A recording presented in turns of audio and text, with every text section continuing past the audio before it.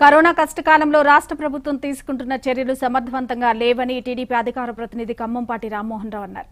తిరుమల శ్రీవారిని దర్శించుకుని మొక్కులు చెల్లించుకున్నారు. కరోనా నుంచి మానవాళిని కాపాడాలని కేంద్ర రాష్ట్ర ప్రభుత్వాలు మరింత చొరవ చూపాలని అన్నారు. వ్యాక్సినేషన్ ప్రక్రియ వేగవంతం చేయాలని ఖమ్మంపాటి కోరారు.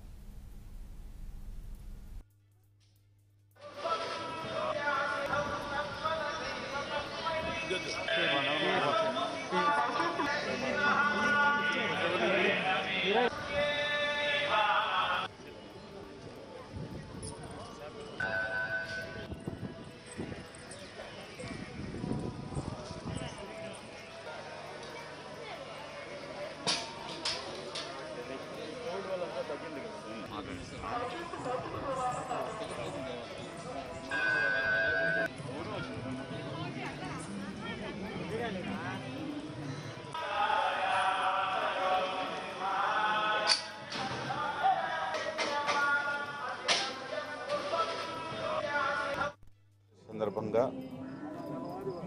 స్వామివారి స్వామివారి ఆశీస్సులు తీసుకుందామని తిరుమలకు ఇచ్చేయడం జరిగింది. ముఖ్యంగా ఈవేళ ప్రపంచమంతా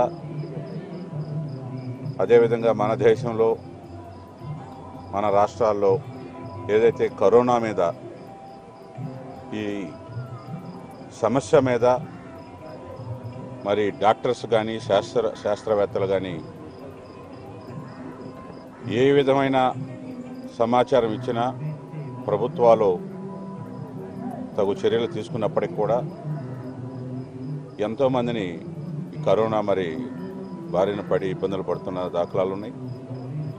ఈ సందర్భంగా స్వామి వారి ఆశీస్సులతో దేశ ప్రజలు రాష్ట్ర ప్రజలందరూ కూడా వారే కాపాడాలని ఎందుకంటే ప్రభుత్వాలు ఎంత చూసినప్పటికీ కూడా చాలా తక్కువగా కేంద్ర రాష్ట్ర ప్రభుత్వాలు ఇంకెక్కువ చొరవ చూపెట్టి శ్రద్ధ పెట్టి ఉండాల్సిందనేది నా యొక్క భావన. ఈ వ్యాక్సినేషన్ మన జనాభా ఎంత ఉన్నప్పటికీ కూడా జనాభాకు తగ్గట్టుగా ప్రణాళిక వేసుకుని తగు చర్యలు తీసుకుంటే ఈ ప్రమాదం ఇంకా తగ్గించి ఉండ ఉండి ఉండటం జరిగి ఉండేది అనేది నేనైతే భావిస్తూ ఉన్నా. ఏదైనప్పటికీ కూడా రాజకీయాలను ప్రక్కన పెట్టి ఎవరు అధికారం ఉంటే వాళ్ళు దీని మీద దృష్టి సారించాల్సిన అవసరం ఉన్నది. ఇప్పటికి నా దృష్టిలో ప్రభుత్వం తీసుకున్న చర్యలు మాత్రం అంత ఇంకా సమర్థవంతంగా లేవనేది మాత్రం స్పష్టంగా ప్రజలు ఎక్కడికి వెళ్ళినా కనపడతారు.